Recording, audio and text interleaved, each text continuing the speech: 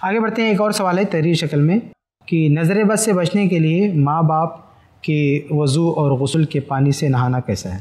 तो देखिए, सवाल ये है कि नज़र बद से या जादू से बचने के लिए माँ बाप के वज़ू के पानी से नहाना उनके गसल किए हुए पानी से नहाना, यानी वज़ू करके जो पानी है, वो गसल करके जो पानी उसको रोक के और उससे अपने आप को नहा लेना ताकि हमको नज़र बद ना लगे, हमको जादू ना लगे। तो ये तरीका कुछ लोगों ने राइज किया है। बहुत अफसोस के साथ कहना पड़ता है कि माँ बाप और औलाद के माबेन जो मुक़दस रिश्ता है, इस रिश्ते को कैसे पामाल किया जा रहा है, जादू के नाम पर नज़र बद के नाम पर जिस बंदे ने यह तरीका बताया है कि माँ बाप वज़ू करें, उसके पानी से, नहाने के पानी से अपने खुद नहाओ।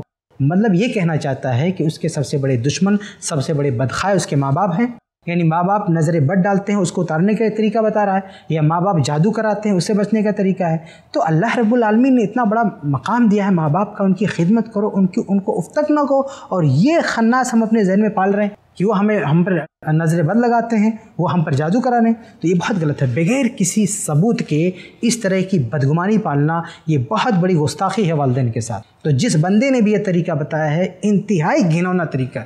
एक रवायत में, मत वगैरह की रवायत में एक चीज़ है, उस पर मेरी नज़र है कि अल्लाह के नबी सस ने एक मौके पर यह तरीका बताया था कि फ़लाँ ने अपने भाई को नज़र लगाई है तो उससे गौसल करवाया जाए और नहाया जाए। वो सब मुझे मालूम है। लेकिन यहाँ क्या हुआ? यहाँ आसमान से कोई वही आई कि तुम्हारे माँ बाप ने तुमको नज़र लगाई है, या तुम्हारे माँ बाप ने तुम पर जादू किया है? तो मेरे भाइयों, ये माँ बाप के साथ इस तरह की सोच बहुत गलत है।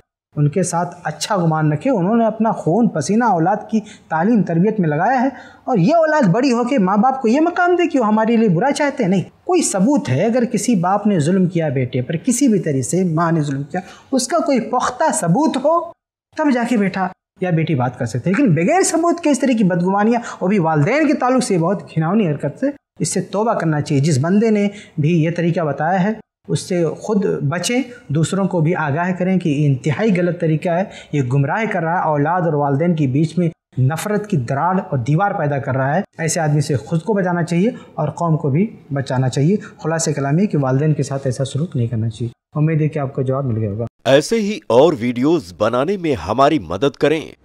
आई प्लस टीवी को ज़रूर डोनेट करें।